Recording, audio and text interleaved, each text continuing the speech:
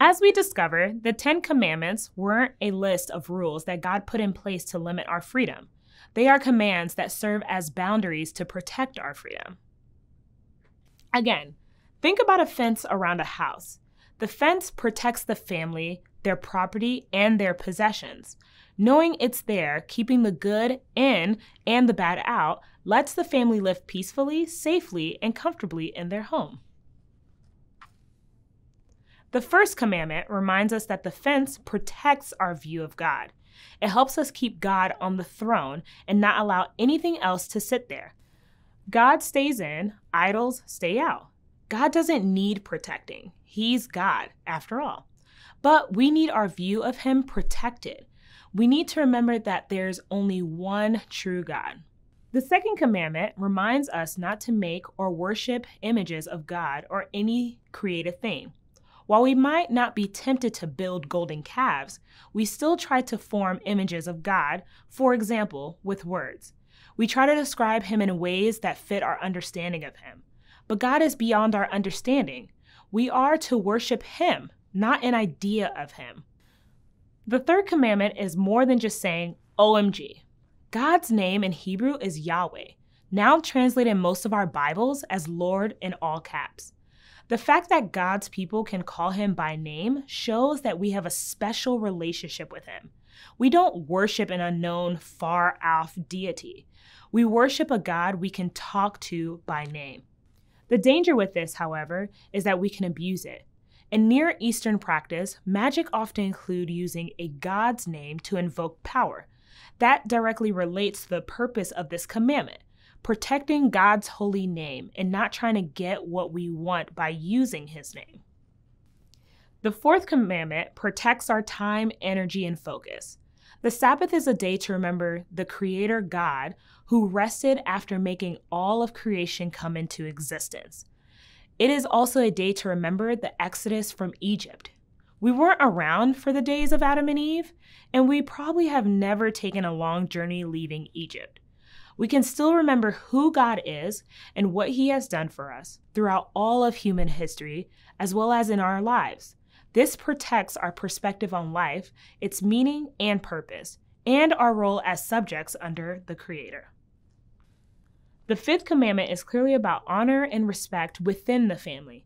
It's also about parents' responsibility to teach their children about God. It's a two way street. Some of us may have parents who aren't worthy of worldly honor and haven't taught us about God, but it still reminds us to do our part to maintain family harmony through our actions and attitudes. And it's also a call to respect those who have instructed us in the Christian faith. The sixth commandment talks about human life. It does not refer to killing in warfare or capital punishment. These were covered under other laws in the Old Testament. Here, it means murder. Murder is taking another person's life out of selfishness or for personal gain. In other words, this commandment protects each person's right to live. Jesus expanded on this. It's not only about not acting on our evil, selfish desires to get rid of someone. It's about not letting those desires to take root in our hearts at all. The seventh commandment is similar to the first commandment. What does adultery have to do with only one God? Both are about faithfulness. There are other sexual sins, but this one is covered in the Ten Commandments, and again, clarified by Jesus, because it's a heart issue. We are supposed to keep unfaithfulness out of our lives. We are called to absolute faithfulness to one God and absolute faithfulness to one person within the marriage covenant. Our faithfulness or unfaithfulness matters. God wants to protect us through the boundaries of faithfulness. The eighth commandment protects property and belongings. We cannot simply take what is not ours. This commandment is also about protecting human freedom. We cannot manipulate or exploit people for our own personal gain. This includes protecting humans from any form of slavery and from exile.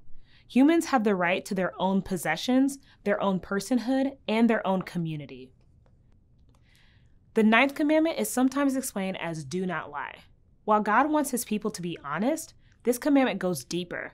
It's about justice. To bear false witness or give false testimony is something that is part of both Israel's legal system as well as ours today. This commandment prohibits perjury, which means to lie intentionally to a judge so that justice cannot be carried out.